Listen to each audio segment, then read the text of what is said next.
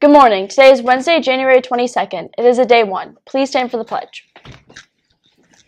I pledge allegiance to the flag of the United States of America and to the republic for which it stands, one nation, under God, indivisible, with liberty and justice for all.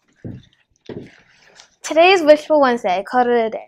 The way you see it, if you want, the way I see it, if you want the rainbow, you got to put up with the rain. It is National Day of Racial Healing. Today's lunch is cheese pizza, spaghetti with meatballs, and romaine salad. This is a reminder that if you are playing a spring sport or need working papers, spring physicals will take place on Wednesday, March 4th. Be sure to make sure an appointment with Nurse Honeyman. Hearts for Youth is looking for students in grades 7 through 12 to join us in giving back to our community as we volunteer at the Alexandria Bay thrift store on Saturday mornings. Please sign up with Miss Denise or Miss Weldon. On Saturday, Saturday, February 1st, the ACS band will present The Price is Close Enough, an evening of games patterned after the popular TV, sh- TV game show. The games begin at 7 and a chicken barbecue dinner will be available at the fire hall from 4 to 6.